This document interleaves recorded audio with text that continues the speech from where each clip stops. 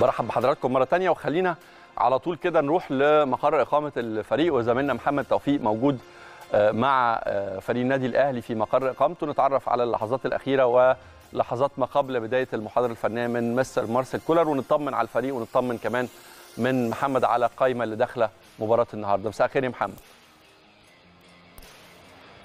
مساء الخير الزميل العزيز أحمد سمير تحياتي ليك ولكل مشاهدي متابعه قناة النادي الأهلي في كل مكان.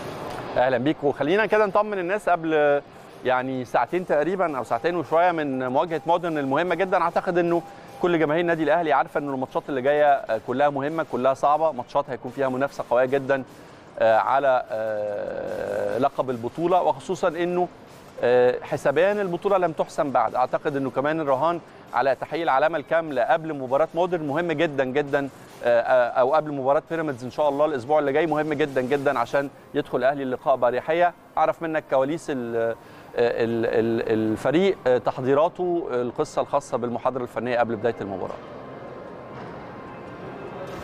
طبعا يا أحمد بضم صوت لصوتك. مرحلة مهمة جدا كل مباراه مهمة كل مباراه بتحظى بالاهتمام والتركيز التام من اللاعبين وده اللي منعكس على معسكر الإقامة هنا. يعني كل الأجواء كلها تركيز حماس إصرار تصميم على تحقيق ثلاث نقاط مواصلة سلسلة الانتصارات. طبعا على طول بعد مباراة بيراميدز الفريق اتدرب السبت خد لحد إجازة امبارح كان تدريب قوي جدا يا أحمد شارك فيه الحمد لله كل اللاعبين على طول اختتم التمرين بتقسيمه يمكن بأربع فرق من اللاعبين كانت بتمتاز بالحماس والجدية من اللاعبين كل اللاعبين حريصين يا أحمد إن هم يكونوا موجودين في مباراة اليوم والمباراة القادمة كمان مرحلة مهمة جدا من عمر المسابقة إن شاء الله يكون الفريق موفق فيها ويكون الجهاز الفني موفق ونكمل سلسلة الانتصارات نوصل لقمة الدوري العام وباذن الله نحافظ على اللقب العام الثاني على التوالي وال 44 في تاريخ النادي الأهلي. الفريق على طول أحمد زي ما قلت لك بعد ختام المران بالأمس دخل معسكر مغلق هنا في فندق الإقامة. طبعا كان في وجبة العشاء وبعد كده على طول اجتماع ما بين الجهاز الفني واللاعبين. للحديث عن المباراة وتحفيز اللاعبين. النهارده بقى اليوم بادئ بدري جدا في فندق الإقامة. الفطار الساعة 11 الصبح. كان في تمرين خفيف الساعة 12 داخل فندق الإقامة هنا. من بعدها كان الغداء فيه تمام الخامسة مساء. حالا وأنا معاك دلوقتي زي ما نوهت يا زميلي عزيز أحمد. يعني في انتظار الجهاز الفني واللاعبين لدخول غرفة المحاضرات الخاصة هنا في فندق الإقامة بفريق النادي الأهلي اللي بيتلقوا فيها المحاضرات. آخر بقى اللمسات الفنية لمستر مارسيل كولر. كلام في الخطة التشكيل الاستراتيجية اللي هيلعب بيها. إن شاء الله يكون موفق في اختيار الاستراتيجية موفق في اختيار التشكيل الأمثل وكمان اللاعبين إن شاء الله يكونوا موفقين داخل المستطيل الاخضر ينفذوا تعليمات الجهاز الفني وبإذن الله يكون الفوز من نصيب النادي الاهلي وثلاث نقاط مهمه جدا يا احمد زي ما انت بتتكلم قبل مباراه بيراميدز القادمه ان شاء الله فيما بعد مباراه الالومنيوم في الكاس باذن الله.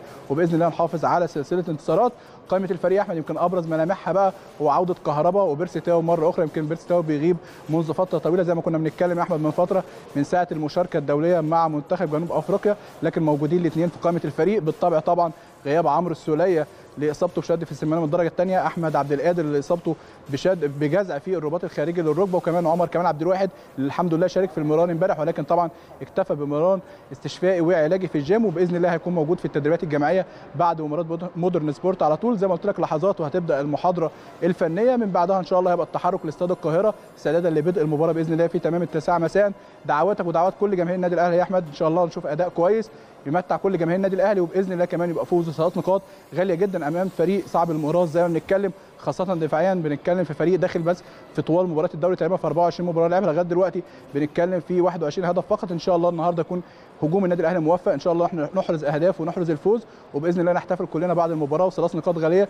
تقربنا خطوة إن شاء الله من اعتلاء مسابقه قمة مسابقة الدوري العام وبإذن الله يا احمد خطوة جديدة إن شاء الله نحو بطولة الدوري. وبإذن الله جمهور النادي الأهلي يحتفل ونحتفل كلنا مع بعض عقب انتهاء المباراة بإذن الله إن شاء الله. ونتمنى كمان يعني نراهن كمان على الحضور الجماهيري في مباريات الأهلي كلها زي ما كانت الجماهير.